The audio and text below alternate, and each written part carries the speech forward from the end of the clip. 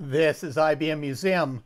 Recently on Facebook, there was this um, just clickbait article, of course, of the um, the photo recreations, the families that had um, taken pictures, typically with young children in them, years earlier, and the um, they go through and recreate the um, the picture even a, a couple of decades later on.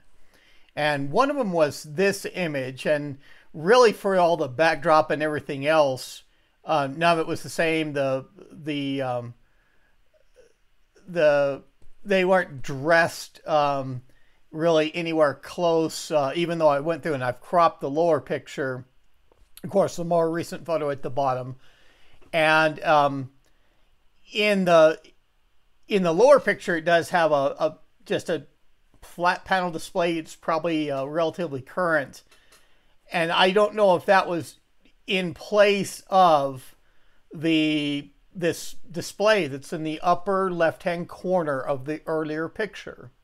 And I'll go through and I'll I can probably go through and um, enlarge that particular area.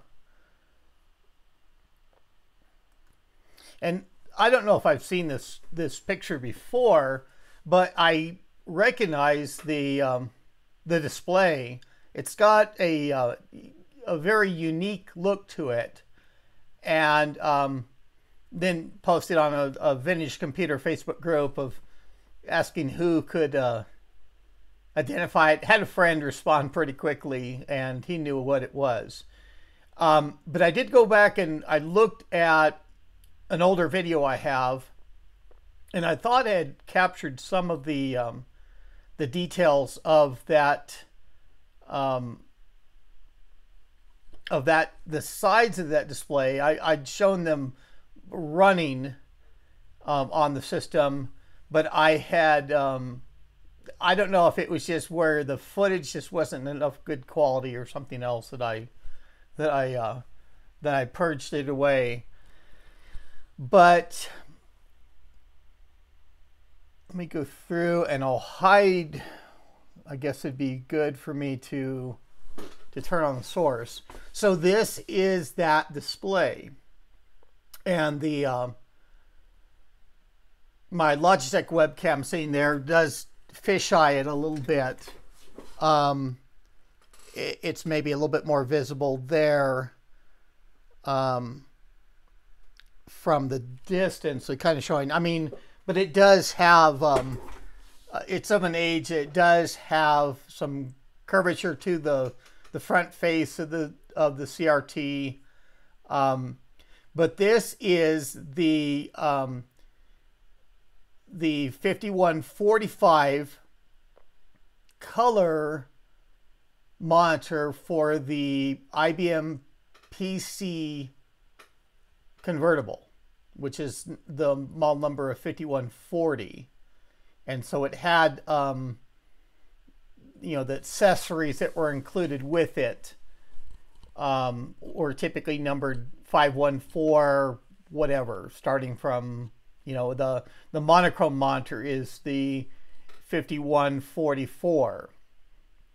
And um, the monochrome version is a lot smaller. I do have that earlier video, I can link to that that shows kind of those in operation.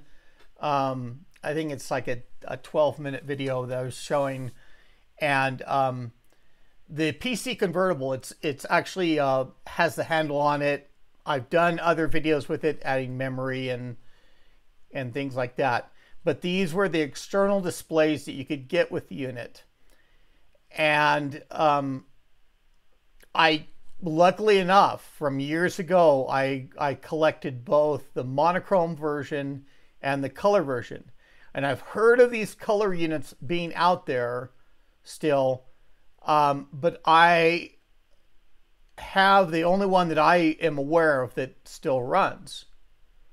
Um, right on the video, I don't have the PC convertible here to show, but I thought I'd show some of the aspect and probably what I can do that I'm going through and moving around the, the image uh, just to show kind of the view. And um, we could even probably see where the uh, the stand position is because it looks like it's actually tilted. Um,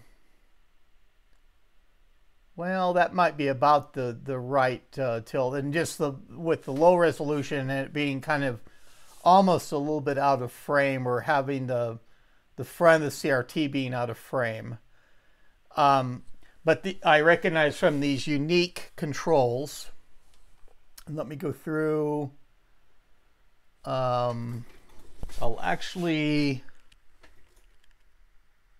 I might move the, um, the Logitech webcam in at some point, but just to show the the side view and and as I said, I thought that I'd gone over this on video that just ended up I guess, on the cutting room floor or something else there.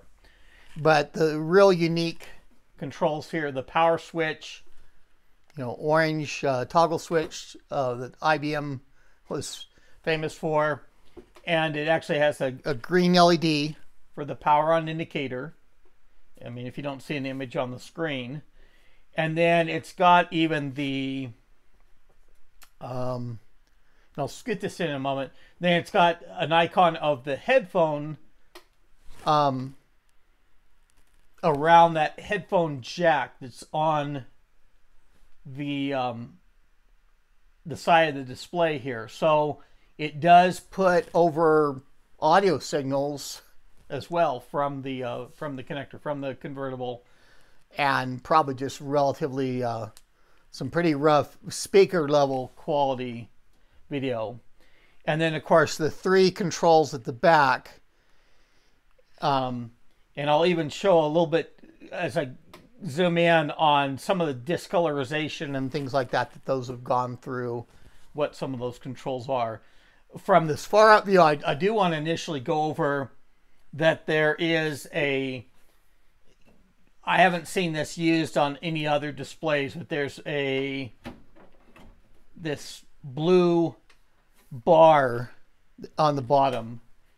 And I think it goes, it can go back to where that's tilted up the highest. And you raise it up, just kind of like almost like the Model 25 case. And it latches, or I, I mean, you probably have to move that bar down in that slot to go through. And um, and that's the position where it's the most horizontal. And I don't know if with the angle and everything else. And the cords are actually fixed. I'll, I can show the back here in a moment as well. And uh, and the connection as well as I as I come in. Uh, the power cord is a little bit of uh, spider web or something else here. Don't bump everything else here on my on my workbench. But here's the um, the cables coming in. Um, got the ferrite beads on them, and it even has some um, some controls on the back here for the um, the vertical hold and um, vertical size probably relatively standard displays. And you can even see a little bit, and it's more evident on the monochrome version, and I'll, as I say, I'll link in the video for that. Um, but you can see almost the PS2 styling in some of the uh, their later displays. This seems to be almost like a um, a crossover, you know, from the earlier PC line modders to the um, to the PS2 series, which were um, introduced, those, those initial PS2s were introduced uh, about a year after the PC convertible was. And so a little bit of the zooming in, it's just meaning scooting my webcam base to show a little bit more of those controls of the um, even a, a volume level, I guess. They're on the side for the headphones. And then the intensity and contrast, contrast and, and intensity. And these, I don't know how much of the, um, maybe between how the controls are, you can see the discolorization. The exposed area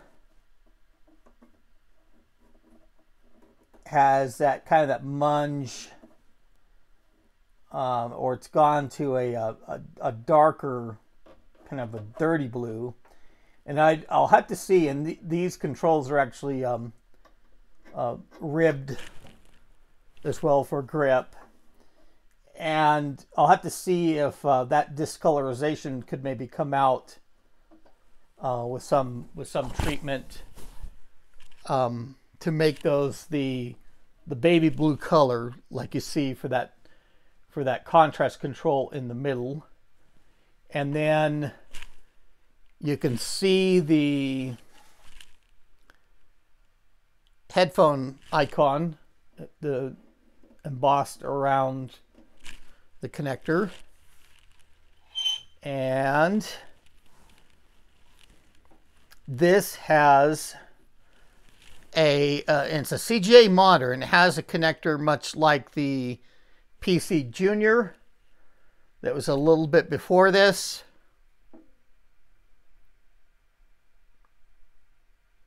And the um, the PC convertible, it was coming out, I believe, in 86. And Richard Sapper was the the German engineer, um, just an industrial designer that he did how the PC convertible, the 5140, was um, how the appearance was, and um, and that carried over into the the PS2 line.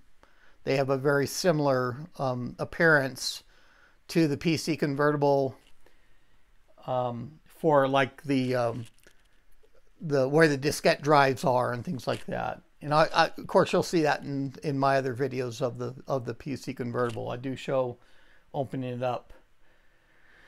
But I, I thought it was really kind of interesting seeing that um, seeing that uh, photo re recreation of the um, of the the 5145 display and indeed, these these guys for the photo recreation would be um, it'd be challenging for them to find uh, one of these displays to go through, and and certainly you don't see it um, in operation in the photo. It's just sitting off to the side.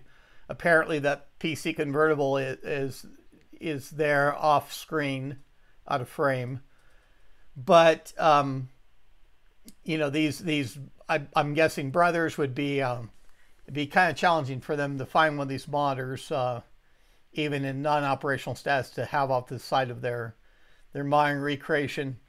Maybe they're out there. Maybe they want to uh, talk to me and everything else that uh, uh we could go through. And I'm I'm not letting this operational display uh, get away from me though. I I'm gonna keep it because just uh, everyone else that all the others I've heard of are um, are broken if they're even still around. So just one of those things that stood out to me. And again, this off the wall content, I thought it was kind of interesting for me um, spotting this out there. And if you enjoy this video, click on that like button. That's very much appreciated. Leave your comments, even if you know the brothers or the brothers themselves can can contact me and see uh, just talk old times and maybe the what they may remember about that system that their family had as well. And that does you know it places it it's got to be um, at least in that um, 1986 or maybe a few years after that time period uh, for that to be in their household and might be an interesting story of itself. But And if you like to see more of the off the wall content like this, click on that subscribe button, tell your friends. Let's get more subscribers. We're going uh, a little bit over 300 subscribers now, and I'm I'm happy for that. But I want many, many more. But that is all I have for now. This is IBM Museum. Thank you.